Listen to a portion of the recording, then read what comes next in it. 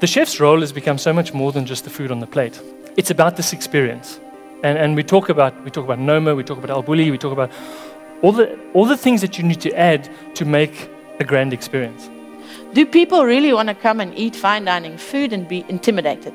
My brother, my dear brother, uh, is a theatre set designer, and he he created the set for my food.